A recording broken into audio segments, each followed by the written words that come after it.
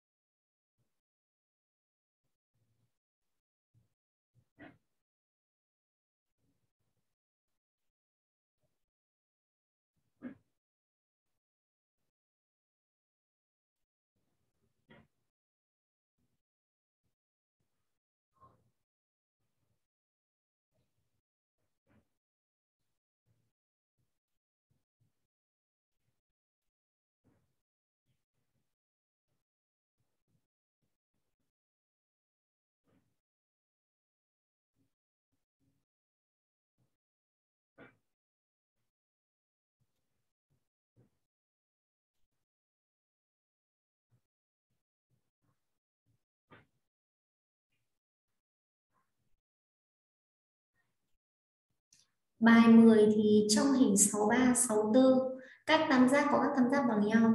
Các cạnh bằng nhau được đánh dấu bởi những ký hiệu giống nhau. Kể tên các đỉnh tương ứng của các tam giác bằng nhau đó viết ký hiệu về sự bằng nhau. Các tam giác các con viết dần đi.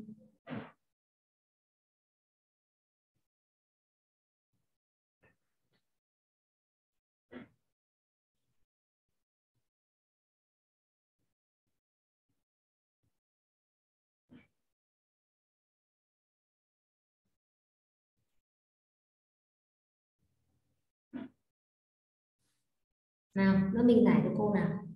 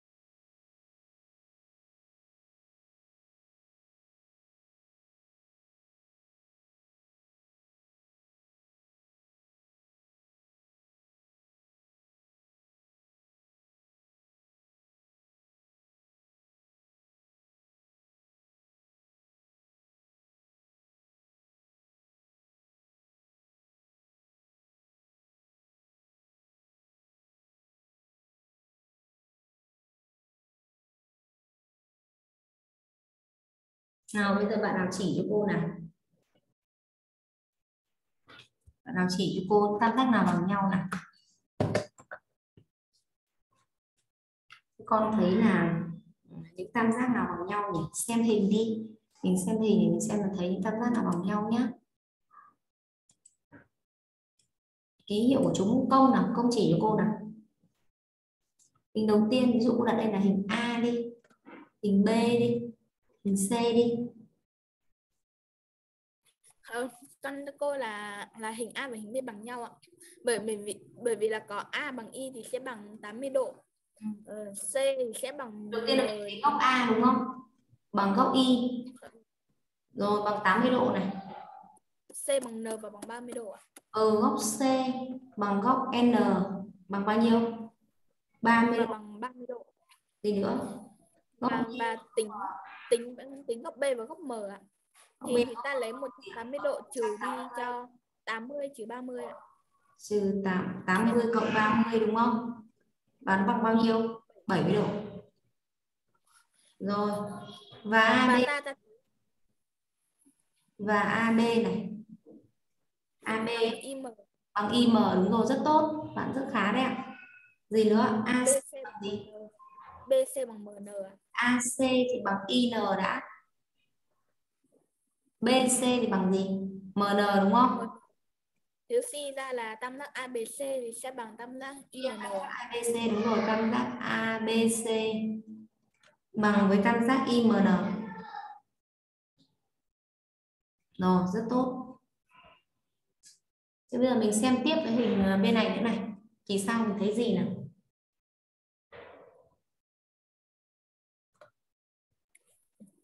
góc quy con, cô là là R, RQH thì sẽ bằng là phi RP bằng 80 độ ạ. Mình đặt đi, đặt đâu là góc uh, ví dụ mình đặt chỗ này là ừ, Q1 đi, đây là Q1 này. Q1 đây là Q2 đi. Đây là R1 này. R2 đi cho nó dễ dễ dễ dễ, dễ ghi. Nào thì đầu tiên mình sẽ thấy là có Q2 Q2 thì bằng gì ạ? R2 đúng không? Phải không? Bằng gì ạ? 80 độ, đúng không? Ở vị trí gì ạ? Vị trí so gì? Le gì? Trong, đúng không? Lên mình có gì ạ? Lên nhá. QH QH của mình song song với RP QH song song với RP đấy, lên R1 lên R1 thì bằng góc Q1 đúng không?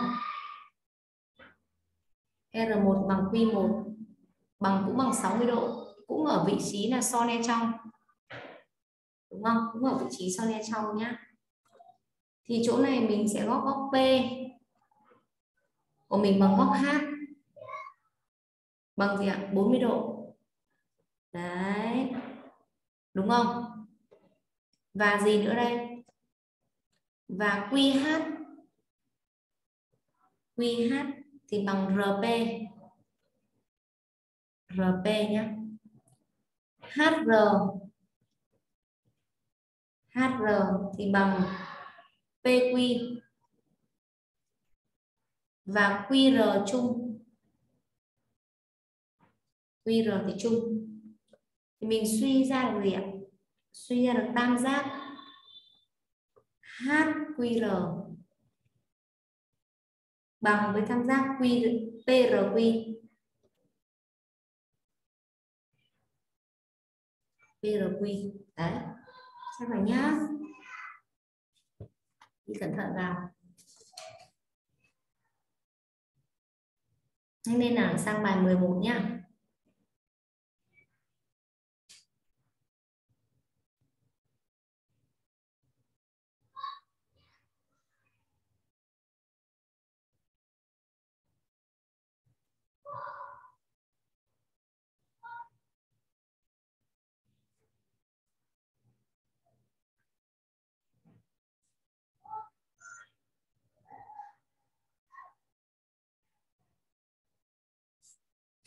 Xong chưa cô xóa bảng nhé Hải, anh xong chưa?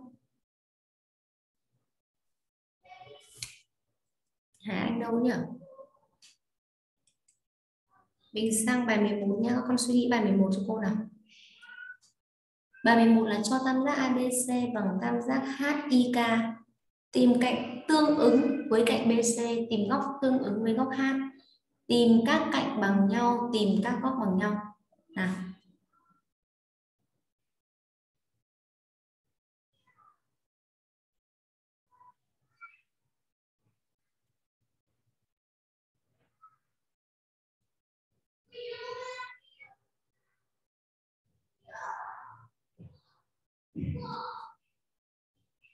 Nào, bạn nào trình bày được bài này nào Nguyệt Nhi trình bày được không Nguyệt Nhi trình bày được không nhỉ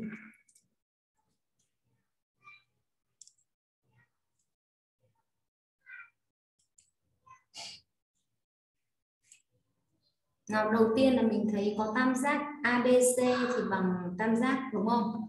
Ta có này. Tam giác ABC bằng tam giác HIK. HIK nhá. Lên cạnh tương ứng với cạnh BC. Cạnh tương ứng nhá. Với cạnh BC. Tương ứng cạnh BC là IK. Là IK góc tương ứng với góc H là góc A.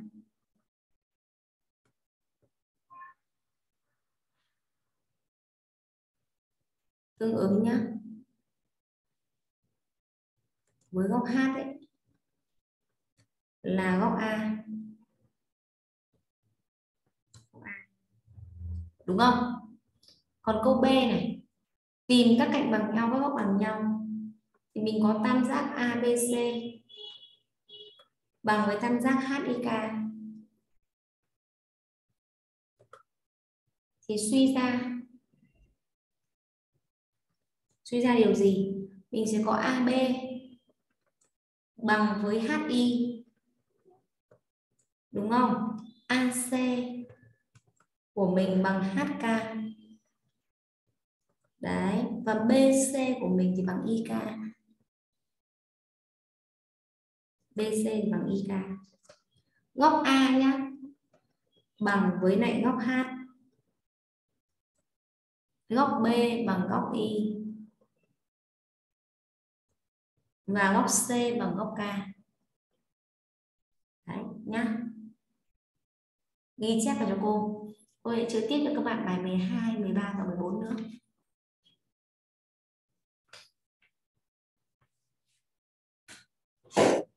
Tông có hiểu không? Con có hiểu ạ. Ừ. công học nhanh đấy. Ngọc Việt Anh có hiểu không? Có. Ừ.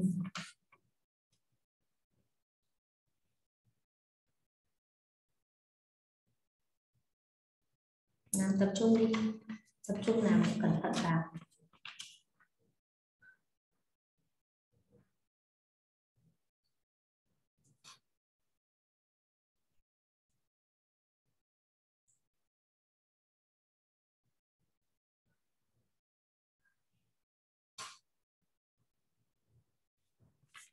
bài 12 đi. Bài 12 nhá. Hình chữ bài 12 này.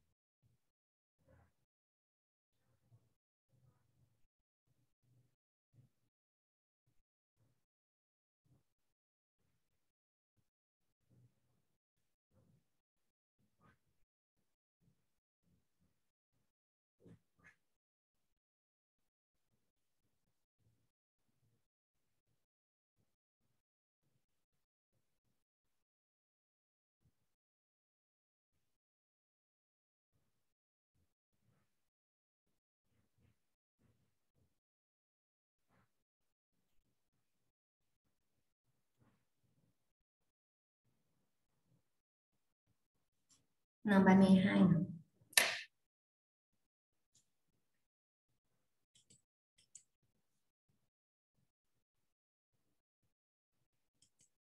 Bài 12 nhé.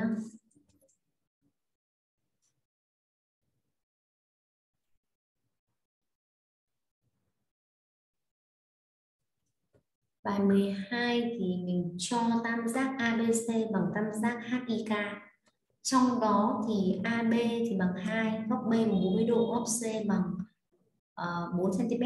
Em có thể suy ra số đo của những góc cạnh nào, những góc nào của tam giác HIK. Đấy. Thì đầu tiên mình có tam giác ABC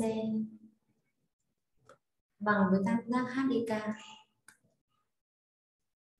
HIK.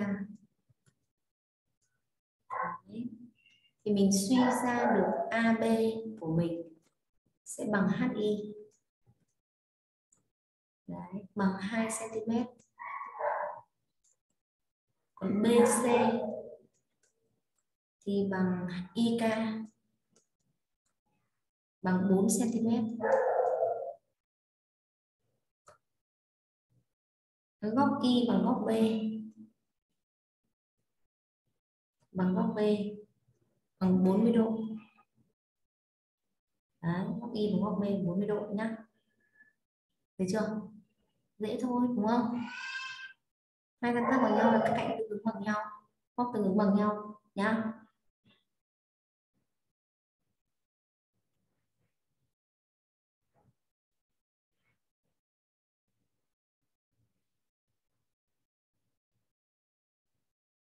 Làm bài 13 bạn nào làm được nào? Cho tam giác ABC, tam giác DEF Tính chu vi mỗi tam giác nói trên biết rằng AB bằng 4, BC bằng 6, DF bằng 5. Chu vi của một tam giác là tổng độ dài ba cạnh tam giác đó. Nào, thành công có làm được câu 13 không? Thành công làm câu 13 không nào? Thành công trình bày cho cô nào.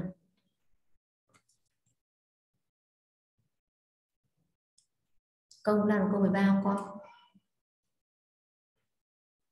Ờ, ờ con có. Con trình bày đi. Đầu tiên là ta có này, Đâu tam giác ABC, có tam giác ABC bằng tam giác D, DF. DEF thì rất tốt. Sao nữa con? Suy ra BC bằng EF và bằng 6 cm. AC bằng DF và bằng 5 cm. DE thì bằng AB bằng 4 EF này bằng 6 cm đúng không? Cái gì? A, DF bằng AC. AB, DF bằng AC là 5 cm. DE đã bằng 4 đã. Với lại ờ, DF DF AC bằng bằng 5 cm. 5 cm. Rồi. Cái chu vi tam giác Chu vi hình tam giác ABC là là người ta 4 cộng 6 cộng 5 bằng 15 cm ạ. ABC thì bằng AB B cộng BC cộng AC và bằng 4 cộng 6 cộng 5 bằng 15 ạ. ừ, 4 cộng 6 cộng 5 và bằng 15. Chu Rồi, vi của hình tam DEF là ừ, DE cộng EF cộng DF và bằng là 4 cộng 6 cộng 5 bằng 15 ạ. bằng DE này cộng với lại EF này cộng với DF này và bằng 4 này cộng 6 này cộng 5 và bằng 15 cm đúng không? Rồi. Đấy, các bạn viết vào nhá. Sau đó mình sẽ chữa bài 14. Chữa bài 14 nhá.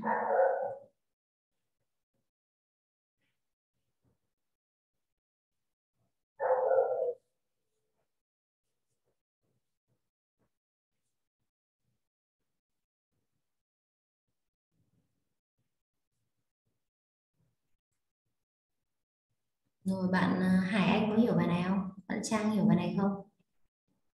Việt Anh hiểu không? Nhi đâu nhỉ? Nhi hiểu không? Có. Tập trung vào nha, cho nên mình sang chữa bài 14 đi. Bài này dễ mà. Bài 14 của mình là cho hai tam giác bằng nhau, tam giác ABC không có hai góc nào bằng nhau, không có hai cạnh nào bằng nhau và một tam giác có ba đỉnh là HIK. Viết ký hiệu về sự bằng nhau của hai tam giác đó, biết rằng AB bằng KI, góc B bằng góc K. Nào. Đây. Hai tam giác đúng không? Mình vẽ hai tam giác thôi.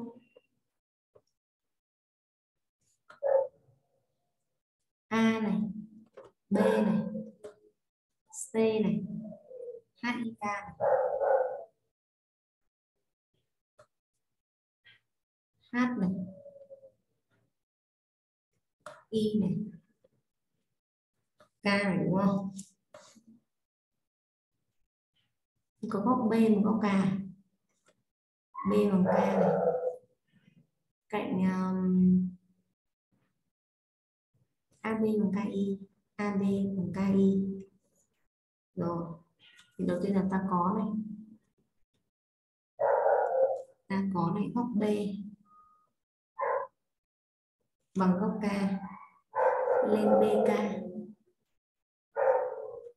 lên BK là hai đỉnh tương ứng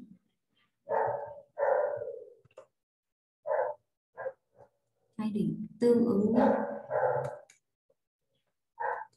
nhé hai đỉnh tương ứng AB bằng với này KI AB bằng KI lên A và Y là hai đỉnh tương ứng lên A và Y hai đỉnh tương ứng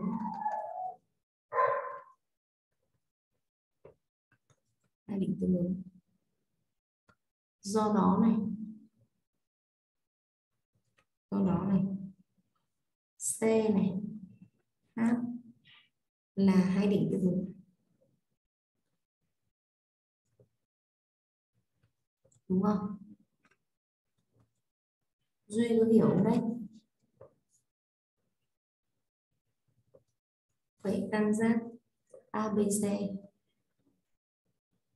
bằng với tam giác Y